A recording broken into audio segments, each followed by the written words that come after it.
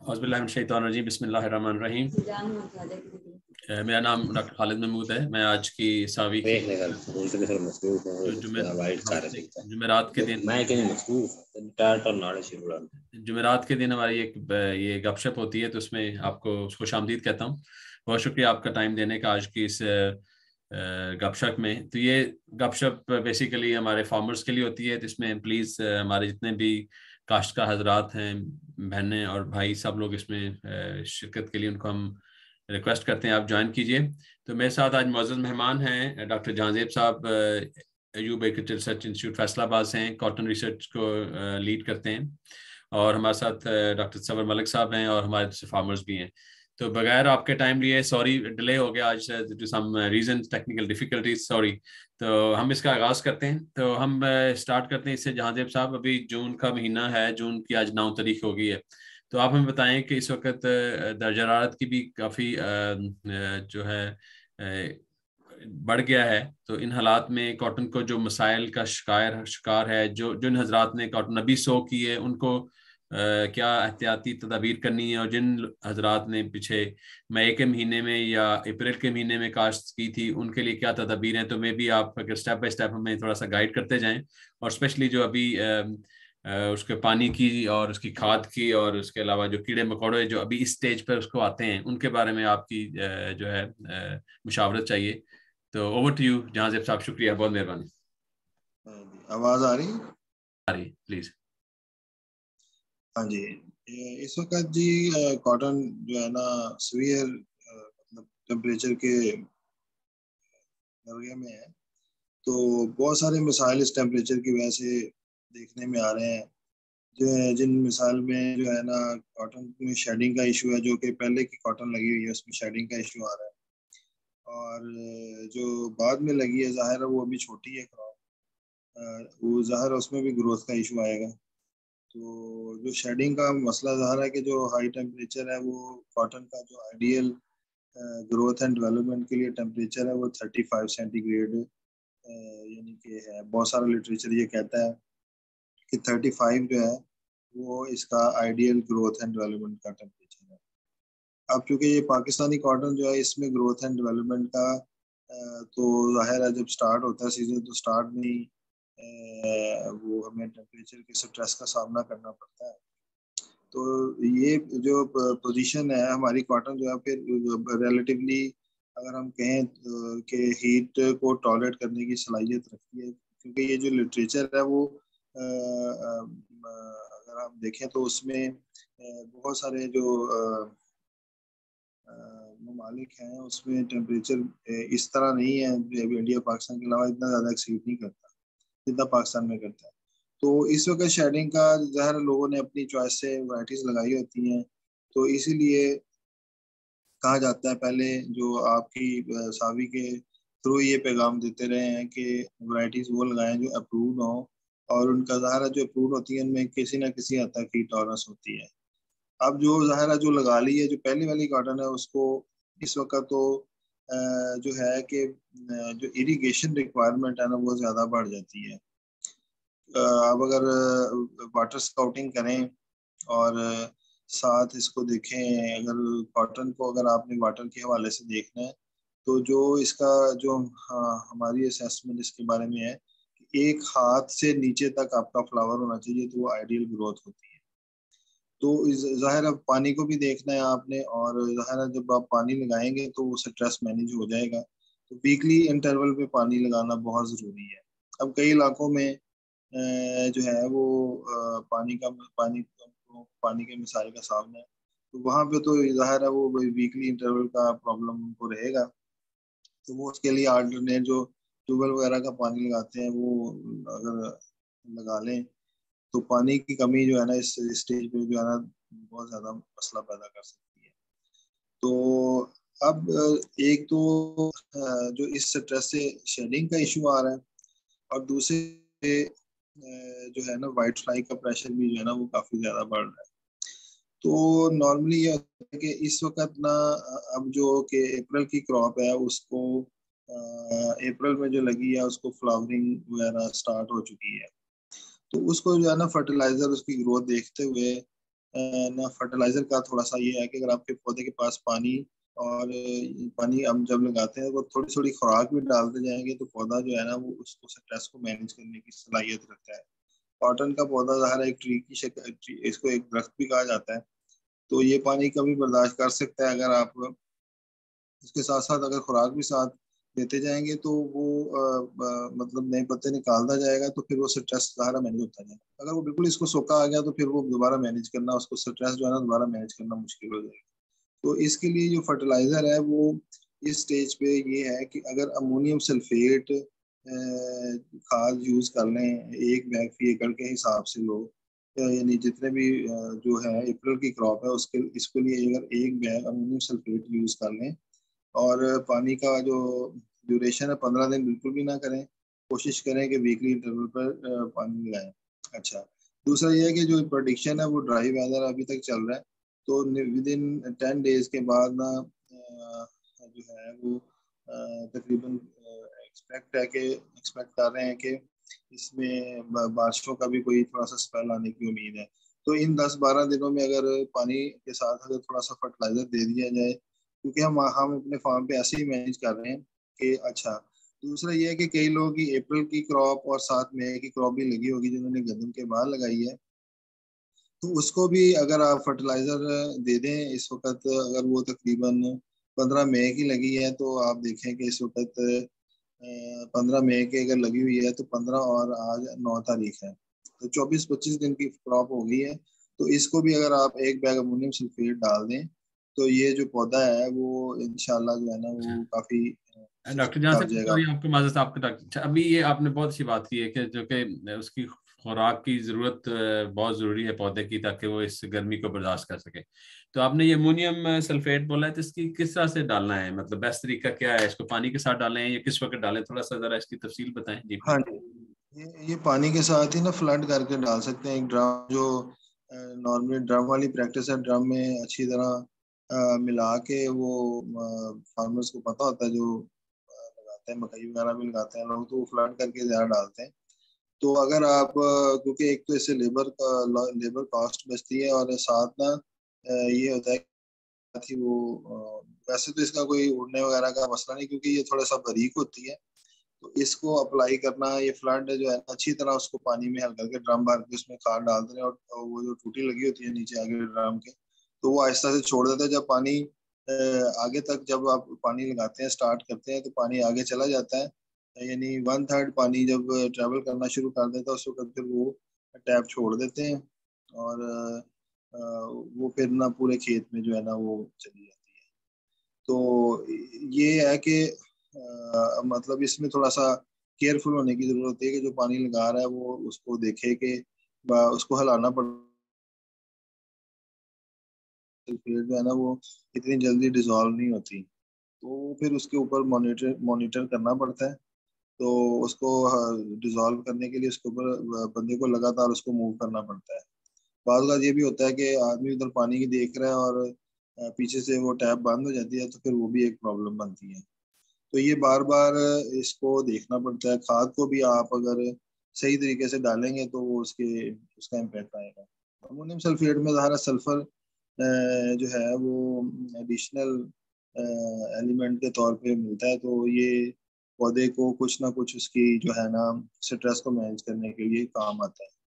तो हमारी ये प्रैक्टिस है और इससे ये भी होता है अगर मैं और भी बेनिफिट है। मैंने ये कहीं पढ़ा था कि इससे कुछ कीड़े मकोड़े जो हैं या कुछ पेस्ट हैं वो भी इससे स्प्रेस हाँ, होते हैं या दी प्लीज़ सल्फ़र जो है ना इसको इसको लोग इसको एज एज फंजीसाइड भी हम ट्रीट करते हैं कि जब ये ग्रोथ वगैरह का इशू होता है ना बाजुकात इसको फोलियर स्प्रे के तौर पर भी सल्फ़र को इस्तेमाल करते हैं जब बारिशों के दिन होते हैं।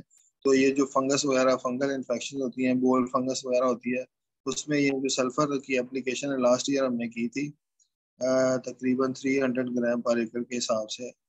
तो वो जो हमारा बोल का इशू था फंगस लग रही थी नमी ज़्यादा थी बारिशों के बाद तो तभी इसका बहुत अच्छा ये बताइए कौन सी फंगस होती है? ये कोई पत्तों के ऊपर जो जो जो ब्लैक स्पॉट है इसकी बात कर रहे हैं या कुछ या उसके टींडे या फूल के अंदर थोड़ा सा जरा तफसील में बताएँ ये तो बहुत अच्छी बात भी होगी। जो सल्फ़र है ना ये अमाइनो एसिड प्रोड्यूस करती है और जिससे प्रोटीन और एंजाइम बनते हैं। और तीन परसेंट जो है ना जो प्लांट का टिश्यू है ना, वो सल्फ़र का सल्फ़र से बना है।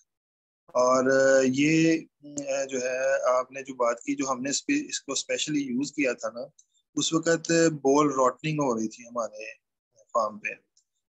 रेन रेनी सीज़न था तो फिर हमने इसको as with the consultation of pathologist use किया था। तो उन्होंने ये रिकमेंड किया था कि आप सल्फ़र की एप्लीकेशन करें तो वो हमने अप्लाई करने की वजह से हमारे जो बोल फंगस का इशू था, उसके अंदर पोल्ट्री फंगस थी, वो काफ़ी हद तक हमारा ना मसला हल हो गया था। तो ये दूसरा ये है कि ये एज ए फंजीसाइड ही मतलब यूज़ की जाती है। और इससे हम, हमने तो देखा है कि कॉटन की ग्रोथ भी जो है ना वो बेहतर होती है। और इसमें ऑयल जो सल्फ़र है, इसको ऑयल जो सीड सीड के अंदर ऑयल कंटेंट्स होते हैं ना उसको भी इम्प्रूव करती है। तो ज़ाहिर जब ऑयल इंक्रीज होगा तो वो अल्टीमेटली इसका वेट भी इंक्रीज होगा और अल्टीमेटली प्रोडक्शन भी इंक्रीज बिल्कुल, आपने सही बात की, जो कि हम सल्फ़र को वैसे ऑयल सीड दूसरी क्रॉप में भी यूज़ करते हैं कनोला के लिए भी यूज़ करते हैं। किससे जो है ना, आपका जो है इससे ऑयल की डिपोजिशन या उसकी कम्बलेशन बढ़ती है। चलिए सर, एक मिनट आप आपको होल्ड करते हैं, मैं फिर आपकी तरफ़ दोबारा आता हूँ। हमारे साथ सबर साहब है। डॉक्टर सबर साहब सलाम सर। सर आप म्यूट हैं आप अनम्यूट करें। हम आपसे पूछना चाहेंगे इस वक्त कॉटन कितने एरिए पे लग गई है पंजाब में? आ, कल वैसे मैं थोड़ी सी जो फिगर्स पढ़ रहा था तो और स्पेशली मतलब इस सिचुएशन में अभी फार्मर को मतलब जिन चीज़ों का थ्रेट है आप उसके बारे में सीसी आप चुके Pakistan central cotton committee Multan से हैं सीसीआरआई के साथ आप रिलेशनशिप है तो आप जरा हमें थोड़ा सा गाइड करेंगे बताएँगे कि इस वक्त कौन सी इंपॉर्टेंट चीज़ें हैं जिसको फार्मर्स को जो है वो केयरफुल होना चाहिए। जी प्लीज़ डॉक्टर साहब। जी अस्सलाम वालेकुम डॉक्टर साहब आवाज़ आ रही है? जी आ रही है बिल्कुल आ रही है। जी आई एम सॉरी मैं थोड़ा सा आज अनकंफर्टेबल जगह पे हूँ मैं इस्लामाबाद रावलपिंडी में हूँ कुछ असाइनमेंट के सिलसिले में। तो मैंने बल्कि आपको मैसेज किया था कि शायद मैं स्पीक करने की पोजीशन में नहीं हूँ तो मैं सुन तो रहा हूँ आपको। तो जो स्वयं पोजीशन की लेटेस्ट आई है सूरत हाल पंजाब में तकरीबन 80 परसेंट हो चुकी है स्वयं सिंध में सेवेंटी परसेंट स्वयं की रिपोर्ट्स हैं। तो मिला जुला के ये ओवरऑल आई थी सेवेंटी एट परसेंट अगर हम चार चारों सुबह की एवरेज करते हैं तो सेवेंटी एट परसेंट आप कह सकते हैं। कुछ दिन पहले की रिपोर्ट है तो एटी परसेंट से ज़्यादा हमारी स्विंग अलहमदुल्ला कंप्लीट हो गई है। ये पिछले साल से टेन परसेंट ज़्यादा है। तकरीबन टोटल टोटल ये दो मिलियन हेक्टेयर तकरीबन बन रही है बीस लाख हेक्टेयर ना। तो आप कह सकते हैं पचास लाख एकड़ टोटल तकरीबन हो चुकी है। और जो हमारा टारगेट था इस साल का, उसका तकरीबन ये नाइन्टी परसेंट है टारगेट का। तो मीन टेन परसेंट अभी शॉर्ट है। तो आज तकरीबन नौ हो चुकी है। तो हमारी रिकमेंडेशन तो यही है कि टेम्परेचर काफ़ी ज़्यादा है अभी। जिन इलाकों में थोड़े टेम्परेचर मुनासिब हैं और जहाँ पानी अवेलेबल है और फार्मर अच्छा संभाल सकते हैं, उनके पास सीड अच्छा अवेलेबल है जो बेस्ट मैनेजमेंट प्रैक्टिसेस कर सकते हैं फर्टिलाइजर्स की अवेलेबिलिटी ओके है, ज़मीनें ठीक हैं तो वहाँ पर ये कंटिन्यू करें। कॉटन की प्लांटिंग को तकरीबन पंद्रह जून के करीब करीब तक। तो हम एक्सपेक्ट दस परसेंट तो शायद नहीं करें, लेकिन दो, तीन, चार, पाँच, दो, तीन परसेंट तक गलबन ये और हो जाएगी। तो सूरत हाल प्लांटिंग की ओवरऑल डिस्टर्ब रही है। पानी की वजह से ख़ास तौर पर दोनों सूबों में, पंजाब में भी और सिंध में भी तो अर्ली स्विंग की परसेंटेज हमारी जो पहले होती थी, वो बहुत कम है पिछले साल के मुकाबले में। तो हमारी इस दफ़ा मिडल मिडल सीज़न की जो प्लांटिंग है और लेटर सीज़न की प्लांटिंग है, वो थोड़ी ज़्यादा हुई है हाई टेम्परेचर की वजह से। बाकी अब जो टेम्परेचर की सूरत हाल है आई एम श्योर वो आज टेम्परेचर्स आज सुबह में सेकंड मैं लोगों से बात कर रहा था सी बी और उस साइड पे तो it was above 48 degree centigrade बता रहे थे सर को अढ़ाई तीन बजे के करीब 50 के करीब चांसेस हैं। कि आज टेम्परेचर वहाँ अराउंड फिफ्टी होगा। तो काफ़ी हाई टेम्परेचर्स हैं। अब इसमें इश्यूज़ क्रॉप की मैनेजमेंट के हैं। जैसे डॉक्टर जहाँ जेब साहब ने बताया क्रॉप्स में न्यूट्रिएंट्स का एक काफ़ी बड़ा अमल दखल होता है। हमने लास्ट जो, अलमन हमने आपकी बैठक थी जो एक आध मीटिंग थी, उसमें डिस्कस किया था। गलती क्या करते हैं फार्मर्स जो कपास लगाने में? अक्सर ये गलती ये होती है, और मैंने पिछली दफ़ा भी डिस्कस किया था कि हम इसको फिर डिटेल से कभी डिस्कस करेंगे। जो वो फर्टिलाइजर्स यूज़ या अगर हम बेहतर टर्म यूज़ करें तो जो फ़सल की न्यूट्रिएंट्स की मैनेजमेंट है जो फ़सल की गजाई ज़रूरियात है, उसको कैसे मैनेज करना है, ये एक बहुत बड़ा इशू है। तो फार्मर क्या करते हैं वो बीज तो महँगा ले लेते हैं, बल्कि एक्स्ट्रॉर्डिनरी महँगा बीज बाजुकात ले लेते हैं। मीन एक किलो थाउजेंड्स का और लाखों में भी चले जाते हैं, वो भी ले लेते हैं। लेकिन आ, अच्छा ब्रीडर हमारे क्या करते हैं? ब्रीडर बहुत महँगा और एक्सपेंसिव नई लाइनों का सीड बेचते हैं और उसके बाद आ, जो रिकमेंडेशन फार्मर को देते हैं वो गलत देते हैं। और वो ऑन दी रिकॉर्ड है। बहुत सारे लोग जो हैं उन्होंने रिकमेंडेशन दी हुई हैं कि जो फर्टिलाइजर्स की एप्लीकेशन है उसको लेट करें। जब तक आप एक स्ट्रॉन्ग और अच्छी basal dose potash phosphorus plus minimum one third nitrogen ये नहीं देंगे क्रॉप को प्रोवाइड नहीं करेंगे, उस वक्त तक आप एक हेल्दी क्रॉप की बेस नहीं रख सकते। आप बेशक सीड जहाँ से मर्ज़ी लें आप बेशक पानी सारा नहरी यूज़ कर लें, आप बेशक सारी मशीनरी यूज़ कर लें, आपके पास जितनी मर्ज़ी लेबर हो। मीन सारे बाकी फैक्टर ऑफ़ आइडियल कर लें तो जो क्रॉप की प्राइमरी बेसिक न्यूट्रिशनल रिक्वायरमेंट है। अगर वो ठीक नहीं है तो आपकी क्रॉप की बेस ठीक नहीं होगी। और सबसे पहला उसका इशू सबसे पहला इशू क्रॉप की बेस का आता है, उसकी ग्रोथ ठीक नहीं होती।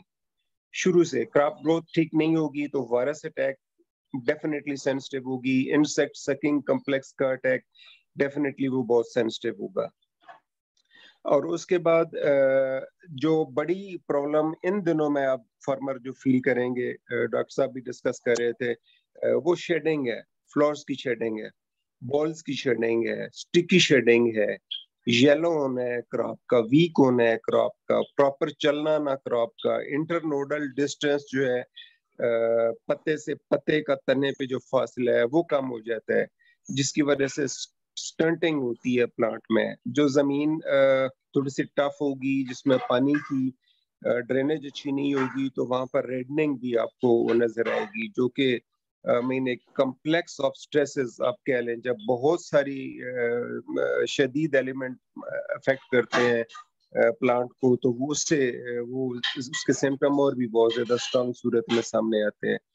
तो ज़्यादा इम्पोर्टेंट क्या है कि फार्मर्स जो बेसिक डोज है बेसल डोज है फर्टिलाइजर्स की वो कंप्लीट करें। नहीं तो चूँकि प्लांट नॉर्मल नहीं होता डेफिनेटली uh, क्रॉप की tolerance ideally thirty two degree तक है थर्टी फाइव डिग्री तक है लेकिन इसके ऊपर जू जू आप जाएँगे आप देखें ना थर्टी फाइव कहाँ और फोर्टी फाइव कहाँ और uh, चंद दिनों का टेम्परेचर है इन दोनों में फोर्टी एट और फिफ्टी कहाँ। तो क्रॉप को फ्लावर तो आप छोड़ दें मीन क्रॉप की अपनी सर्वाइवल एट रिस्क हो जाती है। प्लांट्स को लीव्स को सर्वाइव करना इवन ऐसे ही, ऐसे प्लांट टाइप्स जिसमें ट्रांसपरेशनल रेट्स जो हैं वो बहुत हाई होते हैं। ऐसी जमीनें जहाँ वाटर होल्डिंग कैपेसिटी कम होती है तो वहाँ पर स्फीयर वाटर स्ट्रेस होता है। उसे बहुत लॉसेस होते हैं और फ्लावर्स के लॉसेस सबसे पहले होते हैं क्योंकि फ्लावर सबसे sensitive most part of the plant होता है और सबसे ओपन पोजीशन पे होता है। लीव्स फिर भी खुद को किसी ने लीव के ऊपर लीव ऊपर लीव ऊपर लीव वो प्रोटेक्ट कर लेते हैं, लेकिन फ्लावर प्लांट के ऊपर आउटसाइड पोजीशन पे ओपन पोजीशन पे लगे होते हैं और सबसे ज़्यादा टेम्परेचर से वो जितना प्लांट से कोई पार्ट दूर होगा, जैसे एपिकल फ्लावर होते हैं टॉप पे प्लांट्स होते हैं लीव्स होते हैं एपेक्स वाला पार्ट है, वो ज़्यादा इफ़ेक्ट होता है। ऐसे लीव चूँकि एक्सपोज होता है ज़्यादा हाई टेम्परेचर से तो वो ज़्यादा इफ़ेक्ट होता है। तो अब अगर उसकी न्यूट्रिशनल रिक्वायरमेंट का इशू है तो वो और भी ज़्यादा स्ट्रेस में आएगा। तो अगरचे मीन सारे ओवरऑल जो मैनेजमेंट प्रैक्टिसेस हैं वो डिटरमिन करती हैं कि इसकी शेडिंग कितनी हुई है और प्लांट में जो रिटेंशन ऑफ़ बॉल्स है रिटेंशन ऑफ़ फ्लावर्स है वो कितना हुआ है ये सारी चीज़ें ये डिटरमिन करती हैं। लेकिन आ, मेरी ऑब्जर्वेशन ये है कि पानी के बाद पानी डेफिनेटली सबसे बड़ा डिटर्मिनेट फैक्टर है। पानी के बाद जो nutritional status of the crop है, चूँकि प्रॉपर क्रॉप को फर्टिलाइजेशन नहीं दी हुई होती तो उस बेस पे जो फ्लावर्स की शेडिंग है, ये बहुत ज़्यादा होती है। तो हमारे फार्मर्स को इसको खास तौर पे करना चाहिए। एक और जो चीज़ थी हम मुख्तलिफ़ क्रॉप्स में तो डिस्कस करते हैं सल्फ़र का इस्तेमाल खास तौर पे बाज़ात मैंने देखा है, मेज़ में ख़ास तौर पे लोग करते हैं इसका इस्तेमाल। डायरेक्ट सल्फ़र जो है, मैं I am not I mean वो साइल एंड फर्टिलाइजर्स एक्सपर्ट नहीं हूँ, मेरी इसके ऊपर फाइनल राय नहीं है, लेकिन मेरे इसके ऊपर ऑब्जर्वेशन ज़रूर है। सल्फ़र का इस्तेमाल जो है ख़ास तौर पर इस सीज़न में हाई टेम्परेचर वाले सीज़न में डायरेक्ट जो है स्टैंडिंग क्रॉप में मैं बिल्कुल रिकमेंड नहीं करता हूँ। और फार्मर्स को ये रिक्वेस्ट करता हूँ कि अगर कहीं यूज़ करना है तो सॉइल और वाटर एनालिसिस की बेस के ऊपर इसको सॉइल अमेंडमेंट के तौर पे, सॉइल एमेलेशन के तौर पे, एज ए रेक्टिफाइंग एजेंट जो है वो यूज़ करें और based upon recommendation recommended dose और रिकमेंडेड मेथोडोलॉजी जो है, उस तरीके से इसको सल्फ़र को यूज़ करें। आई मीन ये हर सूरत की मैं फार्मर का ये टारगेट भी नहीं है कि उसने एक परसेंट ऑयल को बढ़ा देना है सीड के अंदर ना। क्योंकि हमारा बेसिक टारगेट जो है वो क्रॉप है उसको हमने प्रोटेक्ट करना है। जो सल्फ़र है, ये अंडरस्टूड है कि वो ज़मीन में जाके पानी के साथ मिलके अगर इस सल्फ्यूरिक एसिड डायरेक्ट एसिड बनाती है और वो एसिड जो है वो साइल की एमेलोरेशन के लिए तो यूज़ हो सकता है। स्टैंडिंग क्रॉप के ऊपर किसी हद तक बेहतर इफ़ेक्ट भी होता है। ये मीन ये भी अंडरस्टूड है कि जब आप इसको अप्लाई करते हैं तो चूँकि जो साल्ट की कुछ कॉन्सेंट्रेशन ज़मीन में होती है, वो लीच डाउन करती है। उससे प्लांट के ऊपर बड़े अच्छे इफ़ेक्ट भी बाजों का देखने में आते हैं। लेकिन लॉन्ग टर्म और सस्टेनेबल बेस पे जब हम बात करते हैं तो इसको फैलो ज़मीन में या प्लांटिंग से पहले क्रॉप से पहले उस, उस वक्त इसको यूज़ करना चाहिए। स्टैंडिंग क्रॉप में इसको as a as a fertilizers खास तौर पर ना वो uh, मेरी थोड़ी इसमें रिजर्वेशन है।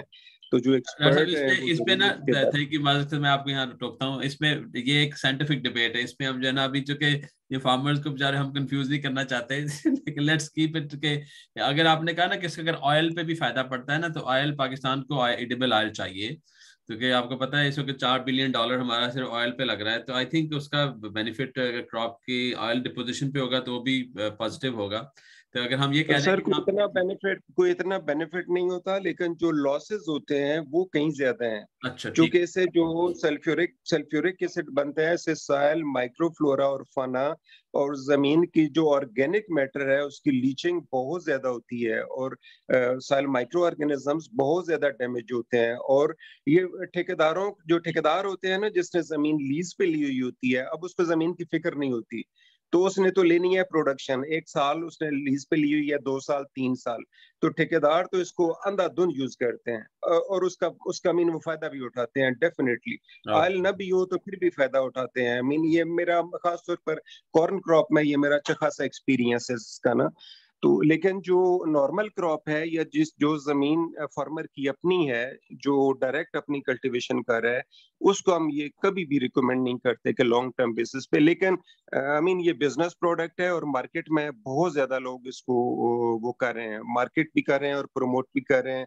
लेकिन हम फार्मर को ज़रूर इसमें गाइड करते हैं कि आप जो ज़मीन की हेल्थ है उसको सस्टेनेबल और जो प्रोडक्शन है उसको सस्टेनेबल करने के लिए इसके लिए आप ज़रूर अपनी इस डिसीज़न को रिव्यू करके फिर देखें कि कौन सी चीज़ बेहतर है उस हिसाब से उसको करें। तो इसके अलावा बाकी और टेम्परेचर जो है हाई टेम्परेचर को मैनेज करने के लिए फार्मर क्या कर सकते हैं जहाँ पानी रिकमेंड हम करते हैं पानी कम है फॉर एग्जांपल एक फार्मर के पास दस एकड़ लगे हुए हैं और वो समझता है कि उसके पास पाँच एकड़ का पानी है तो वो अल्टरनेट रोज को पानी देना मीन एक वीक वो एक रो को ब्लॉक करके पानी दे दे अल्टरनेट रोज में चला जाए। फर्टिलाइजर्स की जो माइक्रोन्यूट्रिएंट्स की एप्लीकेशन है, बाजुकात इस सीज़न में आके वो माइक्रोन्यूट्रिएंट्स बहुत अच्छा रोल भी प्ले करते हैं। लेकिन होता आई मीन वो इमरजेंसी में यूज़ ही है। तो दो, तीन, चार सक्सेसिव स्प्रेज खास तौर पर हीट के दिनों में, अच्छी क्वालिटी की एन पी के अगर अवेलेबल हो जाती है तो ह्यूज अमाउंट पानी की यूज़ करें। मोर देन 120 लीटर पर एकड़ पानी जो है, वो रिकमेंडेड है। वो करके यूज़ करते हैं तो उससे जो हीट वेव के जो शॉक्स होते हैं इमिजिएटली उससे कुछ एक, थोड़ा सा माइक्रो क्लाइमेट उस इलाके का बेहतर हो जाता है तो वो भी है।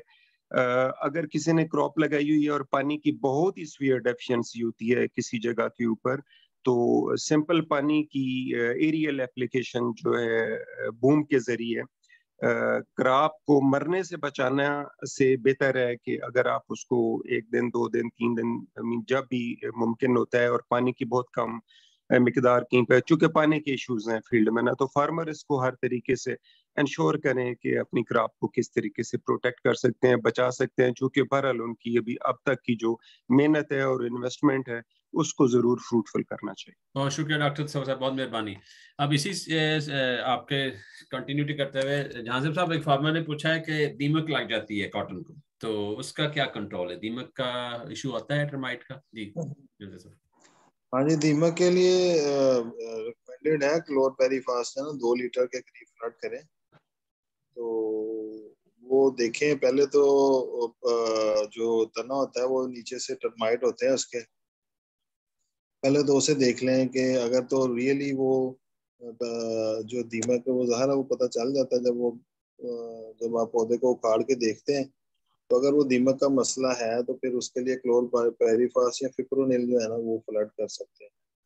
तो ये हमारा निमाटोड्स का भी प्रॉब्लम आता है? क्या क्या वो आ, कभी वो इशू निमाटोड की वजह से भी हो? या वो दीमक की वजह से हो सकता है?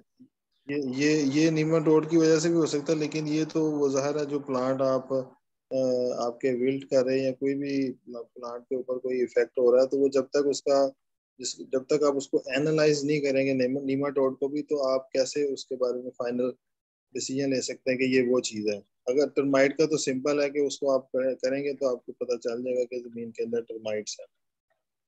वो तो आपका ये सिंपल सोल्यूशन है। अगर आपका वो टर्माइट नहीं है, वो नहीं मिलता तो फिर उसको इधर हम, हाजिर है, हमारा पैथोलॉजी सेक्शन है। उधर वो सैंपल सबमिट करवाए हम उसके हवाले से। उसको सबमिट करवा के हम भी ज़ाहिर उनसे रिकमेंडेशन लेते हैं। तो वो पैथोलॉजी सेक्शन में जाएगा तो वो पता चल जाएगा कि इसकी क्या सोल्यूशन हो सकती है। इसमें प्रॉब्लम आता है नीमाटोड्स का? पाकिस्तान में बहुत ज़्यादा मुझे पता है ये क्योंकि नीमाटोड्स एक ओकरा से भी आते हैं वो लेडी फिंगर या से कहते हैं भिंडी तोरी से आता है ना? भिंडा तोरी जी सर अमूमन अमूमन पाकिस्तान में नेमाटोड के इफेक्ट्स नहीं है इस हाई टेम्परेचर के ऊपर चूँकि तो जो नेमाटोड्स की ज़्यादातर अकसाम है, वो लो टेम्परेचर पे एक्टिव होती हैं। तो जो लो टेम्परेचर वाली क्रॉप्स हैं सोयाबीन और कॉर्न और ये जो विंटर सीज़न की कॉर्न है, उसके ऊपर लेकिन हमारे मुल्क में अमूमन इसका ज़्यादा इशू नहीं है निमाटोड्स का ज़्यादा इशू इसी का आता है टर्माइट्स का आता है वाइट एंड्स का आता है, और वो भी ज़्यादा ये देखना पड़ता है पहले कि इसके अटैक की नेचर क्या है। फॉर एग्ज़ाम्पल अगर ये तो लोकलाइज्ड है फॉर एग्ज़ाम्पल एक एकड़ में चार या छह जगहों के ऊपर आपने फॉर्म यार्ड मैन्योर फेंकी है और वो वेल डिकम्पोज नहीं थी तो वो लोकलाइज्ड अगर इन्फेक्शन है तो उसकी ये रीजन एक हो सकती है। दूसरा ये है कि जो बारानी इलाके हैं, जहाँ पर अक्सर जमीनों में स्टबल्स होते हैं वो रह जाते हैं तो उस वक्त वो वो परमानेंट ऑलमोस्ट एक फीचर होता है उन क्रॉप्स का ना। और, दूसरा बलूचिस्तान में अगर आप खास तौर पर देखें, चूँकि वहाँ पर पानी की कमी होती है और हल्की जमीनें होती हैं, पानी स्टैंड भी नहीं करता तो वहाँ पर ये ज़्यादा इश्यूज़ होते हैं। इवन कॉटन की पिछले साल के मुड जो हैं, वो भी स्टैंडिंग होते हैं। तो अब ये होता है कि अगर वो कम इन्फेक्शन है तो उसका तरीका पहले अगेन हम फार्मर्स को रिकमेंड ये करते हैं कि सॉयल सस्टेनेबिलिटी और उसकी प्रोडक्टिविटी को सस्टेन रखने के लिए केमिकल का कम से कम यूज़ करें। तो फ़र्स्ट अच्छा ऑप्शन ये है कि पानी इस्तेमाल करें।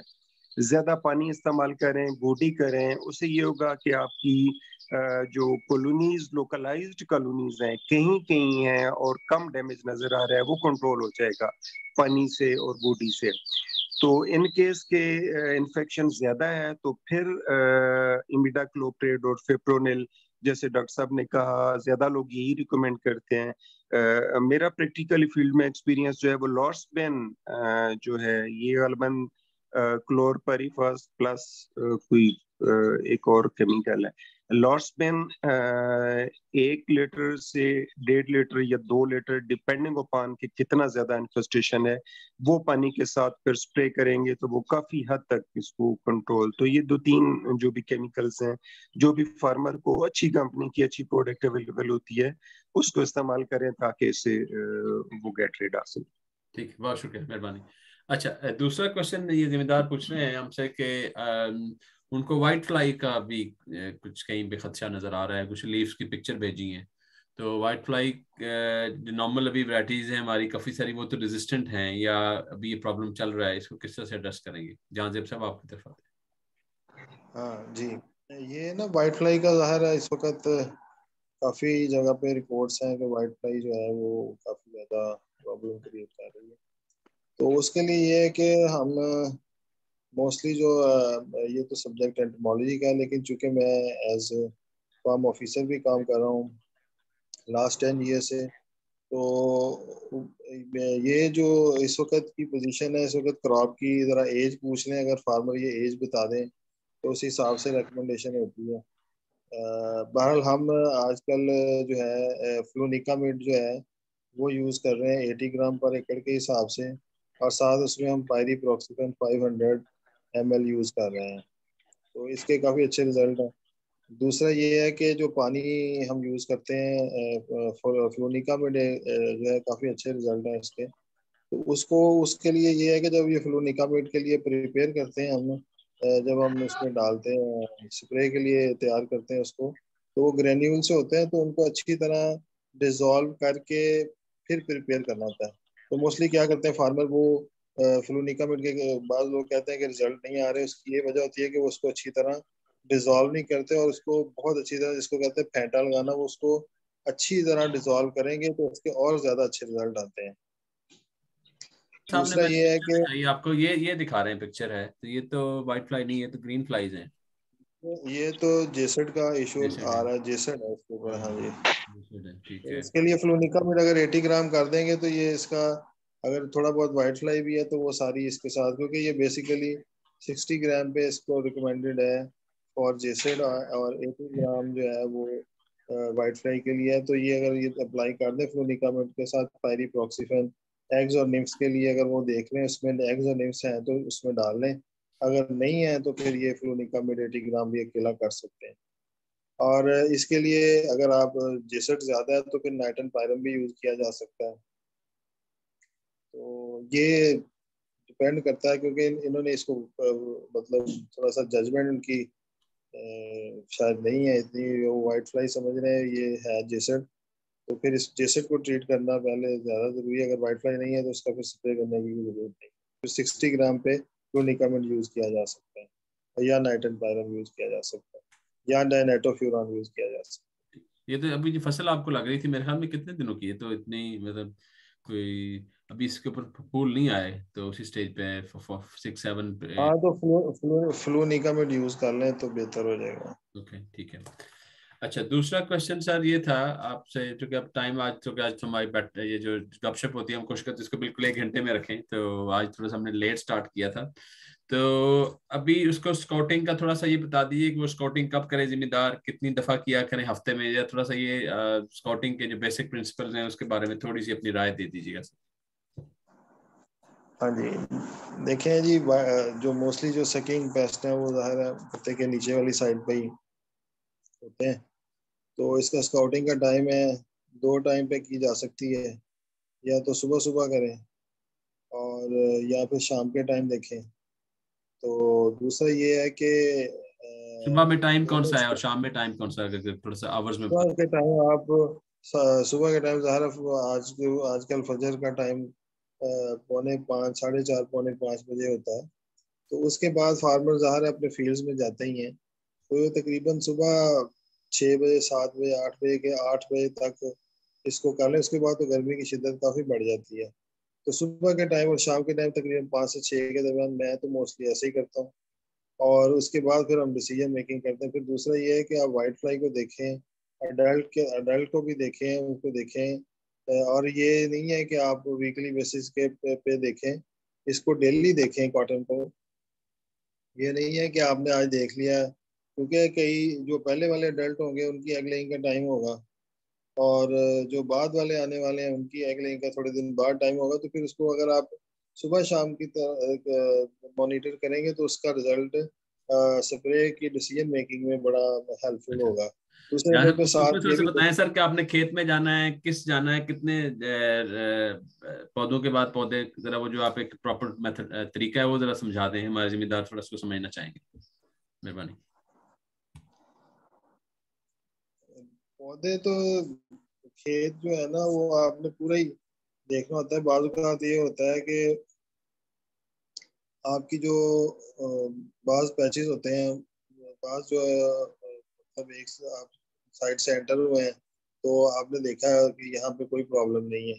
तो आप थोड़ा सा आगे जाते हैं खेत के मिड में जाते हैं तो वहाँ पे यानी आप तीन हिस्सों में आप कर लेना खेत को। यानी कि अगर राइट से स्टार्ट करना है तो चार रोज ले लें फिर आ, आप फिर थोड़ा सा आगे जाके चार रोज ले लें। इस तरह करके पूरे खेत को पूरा, पूरी खेत को इंस्पेक्ट करें। एक साइड पे जैसे अब जहाँ जहाँ पे वाटर चैनल होगा, वहाँ पे बाजुकात जो होता है, वो वहाँ पे प्रॉब्लम जो है इंसेक्ट इंफेस्टेशन ज़्यादा होती है यानी जिसट वगैरह वहाँ पे ज़्यादा होता है। वाइट फ्लाइज भी ज़्यादा उसमें ज़्यादा होती है। और मिड में भी जब, जहाँ पे प्लांट पॉपुलेशन पूरी है वहाँ पे बाहर वाले पौधे जो है, वो तकरीबन इतना प्रेशर नहीं होता। तो फार्मर क्या करते हैं मोस्टली कि बाहर से देख लेते हैं। वहाँ पे फील होता है कि यहाँ पे इंसेक्ट का प्रेशर नहीं है तो अंदर से पता चलता है कि कपास काली हो गई है। तो उसके बाद फिर मूव करते हैं कि कि इंसेक्ट का जो है प्रेशर बहुत ज़्यादा होता है, फिर वो अंदर स्प्रे करते हैं, फिर वो जाके पेस्टिसाइड वाले के पास जाते हैं, फिर वो अंदर रिकमेंडेशन देते हैं, जिसके बाद कपास जो है ना, वो काली से सफ़ेद नहीं होती। बुरी से बुरी होती जाती है। तो फिर इस, इसका यही तरीका कार है कि तो सुबह शाम मॉनिटरिंग करें उसकी और उसको खेत के मुख्तलिफ़ बना लें पैचेस खाल वाली साइड को ज़्यादा गौर से देखें उसके बाद दरमियान को देखें। मतलब पूरे खेत को विज़िट करना होता है को बहुत ज़्यादा टाइम लगता है पंद्रह मिनट में तकरीबन आप सारा जो फ़ील्ड है ना वो इवेलुएट कर लेते हैं। और दूसरे नंबर पर आजकल थ्रिप्स जो है वो भी एक थोड़ा सा उसमें प्रॉब्लम आ रहा है थ्रिप्स का भी कई जगह पे आ रहा है। तो जब आप वाइट फ्लाई के लिए देखें थ्रिप्स के लिए भी देखें और जिसिट के लिए भी देखें, फिर उस हिसाब से अकॉर्डिंगली डिसाइड करें कि कौन सा स्प्रे जो है वो आप कर सकते हैं। जी। शुक्रिया मेहरबानी। अच्छा सर, एक आखिरी क्वेश्चन आपसे पूछते हैं। ये है वीड्स के बारे में। कहते डीला आ गया है। तो डीले को अभी उसके लिए स्प्रे हो क्या हो सकता है? या फिर उसके लिए जो आपने हल चलाना है, हल कितनी स्टेज तक चलाना है कि वो पौधा डैमेज ना हो, जो हम कई लोग उसमें बीच में वो मतलब फ्लोइंग भी करते हैं। जी बताइए जरा। जी। इस तरह के मुख्तलिफ़ मेथड्स हैं। अब डीला जो है, वो ज़ाहिर है वो जो ट्रैक्टर के साथ इसको वो तरफाली भी कहते हैं, वो लोग चलाते हैं। वो इंटरकल्चर ऑपरेशन तो हम कर देते हैं, लेकिन बाज़ात ये होता है कि किसान ना वीट से तंग आके ना, उसको बाज़ात टू दो फुट, जब फ़सल हो जाती है तो उसके बाद जो पास आपस में दो ढाई फुट के बाद ना मिलना शुरू हो जाती है, बहुत ज़्यादा उसकी पॉपुलेशन थिक हो जाती है और लीव ज़्यादा होने की वजह से ज़ाहिर वो आपस में मिल जाती है और जब वो ट्रैक्टर ट्रैक्टर एक बहुत, या तो ब्रीक टायर वाला ट्रैक्टर हो तो या छोटा ट्रैक्टर ब्रीक टायरों वाला हो तो फिर तो ठीक है। और ये बेड स्विंग में जो है ना, ये ट्रैक्टर चलाना, ये कोई बहुत ज़्यादा मुझे बाद में लेटर स्टेजेस पे बहुत ज़्यादा ख़तरनाक हो जाता है। इसमें काफ़ी सारी कपास टूटती है। और जो भी आपने एक दफ़ा जब उसके ऊपर चला दिया है तो अगर आपकी रेनफॉल हो गई है तो जितना जो जहाँ जहाँ पे आपने वो हल चलाया है, उसके बाद फिर नीचे जो व्हील्स का सील है, वो ऊपर आएगा और वो फिर दोबारा से निकलेगा। तो इसकी स्टेज है दो ढाई फुट के करीब उसको करके उसके बाद यानी कि उसकी रूट्स भी डैमेज होनी शुरू हो जाती हैं अगर आप लेटर स्टेजेस पे करते हैं। दूसरा ये है कि डीले का हल, ये बहुत बड़ा मसला है। इसके लिए हमने एक ये जो जाफ़र एग्रो केमिकल्स की है मैं ब्रांड का नेम बताना ज़रूरी समझता हूँ क्योंकि इन, ये हमने डीले पे काबू इसी से किया है कि अगर वो आप केमिकल स्प्रे करना है तो उनके पास एक प्रोडक्ट है टॉप केयर के नाम से।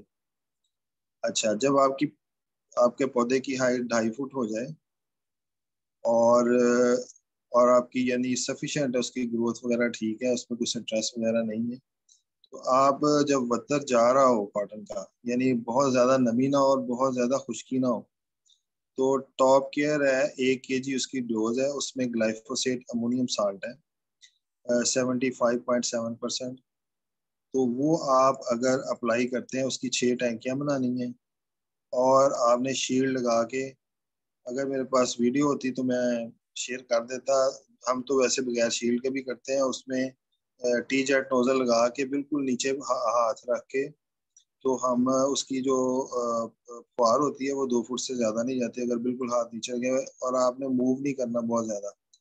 बहरहाल फार्मर जो है उसको समझ नहीं आएगी तो ये उसके लिए ये है कि शील्ड जो है ना आम मिलती है। शील्ड लगा के आपने काटन को थोड़ा सा बचाना है कि काटन के पत्ते नीचे वाले कोई नहीं को थोड़े बहुत पड़ भी जाएगी, कोई मसला नहीं है। उसको आप करें तो ढीला जो है ना तकरीबन 12 से 14 दिन के अंदर अंदर ये आपकी क्रॉप से ख़त्म हो जाएगा। और इनशाला काफ़ी बेहतर रिज़ल्ट आएँगे। ये ही प्रोडक्ट यूज़ करें ग्लाइफोसेट की बजाय ये ग्लाइफोसेट अमोनियम साल्ट यूज़ करें। इसका स्ट्रेस भी कम है और फिर जब ये चौदह पंद्रह दिन में ये ख़त्म होना है, उसके दौरान आपने हाफ़ बैग यूरिया भी इसमें फ्लड करना है कॉटन में, ताकि अगर इसका कोई आपको स्ट्रेस आने का खौफ है तो ये आधा बैग यूरिया जो है ना हम साथ डाल देते हैं, चौथे, पाँचवें दिन। और फिर हमने देखा है कि हमारी क्रॉप में दोबारा फिर वीड्स का इशू जो है ना, इतना ज़्यादा। ये एक अकेला डीला नहीं ख़त्म करेगा, ये ऑल वीड्स के अगेंस्ट इसका बहुत अच्छा रिज़ल्ट है। और हम तकरीबन 74 एकड़ पे यही प्रोडक्ट्स यूज़ कर रहे हैं और हमारे पास इसकी कोई भी ऐसी कंप्लेंट नहीं है कि इसका कोई रिज़ल्ट नहीं है। तो ये हम मोस्टली जब हमारी क्रॉप हम भी चलाते हैं ट्रैक्टर वाली गोडी हम भी करते हैं लेकिन एक पर्टिकुलर स्टेज पे जाके हम रुक जाते हैं और उसके बाद हम फिर इसको करते हैं प्रोसेस टॉप केयर को करते और ये अगर आप दो दफ़ा भी की जा सकती है जब बारिशें होनी है तो उन दिनों में भी ये जब बहुत ज़्यादा वीड्स हो जानी है क्योंकि बेड्स पे पहले बीड्स नहीं उग रही होंगी। अब इस वक्त बेड्स जो है जो जो बेड्स पे कॉटन लगी है उनके बेड्स पे बीड्स नहीं होंगी। जो नालियाँ खालियाँ उसमें बीड्स होंगी, या पौधों के साथ साथ होंगी। तो जो है, आप अगर टॉप केयर अगर आपका, आपकी आपकी वीड्स नालियों में है तो फिर नालियों में आप उसको हैंडल करें सिर्फ़। उसको स्प्रे करें। अगर आपके बेड्स नहीं है तो उस पर ज़्यादा स्प्रे करने की जब वीड्स नहीं है तो स्प्रे अगर अगर बेड्स पे भी हैं, और नालियों पे भी है, फिर आपने ना दोनों को ही टारगेट करना है। डॉक्टर साहब नेक्स्ट टाइम जो ना, आप थोड़ा सा मैं ना, बल्कि जो नेक्स्ट करेंगे ना बैठक तो कुछ अगर आप कुछ स्लाइड्स बना देना ये जो शील्ड वाली बड़ी अच्छी बात है, पता नहीं कितने फार्मर्स को पता है कि शील्ड लगा सकते हैं स्प्रे के आगे नोजल के आगे। तो वो थोड़ी सी बात है ना बड़ा उनको समझ भी आएगी और तरह अगर आप दिखा दें हमें स्क्रीन पे तो इनशाला जो नेक्स्ट मीटिंग करेंगे ना तो आप कुछ स्लाइड बना के रखिएगा। तो बहुत शुक्रिया आज की जो है ना बहुत अच्छी डिस्कशन रही। आ, लेकिन तो क्या ये दोपहर के टाइम ये बैठक का प्रोग्राम होता है ये हम आ, मतलब फार्मर की कभी फरमाइश पे करते हैं। तो जो भी जिम्मेदार हमसे क्वेश्चन पूछते हैं हम फिर दोबारा इंशाल्लाह आपके पास हाजिर होंगे। तो आज की महफल इसको मैं बर्खास्त करने की तरफ़ जाना चाह रहा हूँ। लेकिन जाने से पहले मैं एक दफ़ा डॉक्टर सवर साहब से अगेन बहुत शुक्रिया आपका सर। डॉक्टर साहब आपने ज्वाइन किया इस्लामाबाद से ज्वाइन किया ट्रैवलिंग थे। और डॉक्टर जहांजेब साहब आपका बहुत शुक्रिया। तो सावी के साथ मैं मजद मेहमानों का भी बहुत मशहूर हूँ कि सावी इस एफर्ट को मतलब ब्रुए कार लाने में हर तरह एफर्ट कर रही है। गवर्नमेंट के साथ इंडस्ट्री के साथ हम लोग मिलकर काम करना चाह रहे हैं कि पाकिस्तान की जो जो फ़सल है, जिसको हम सफ़ेद सोना कहते हैं तो इसको किस तरह से बचाएँ और अपनी मुल्क की इकानमी को बढ़ाएँ। तो इन अल्फाज के साथ आपको अल्लाह अपनी हिफाजत में रखे। शुक्रिया, बहुत मेहरबानी। इंशाल्लाह नेक्स्ट बैठक के साथ या नेक्स्ट जो हमारा गप गपशप का प्रोग्राम होगा, उसके साथ इंशाल्लाह अगली जुमेरात को फिर हाजिर होंगे। बहुत शुक्रिया जी जजाकल्ला खैर। बहुत शुक्रिया।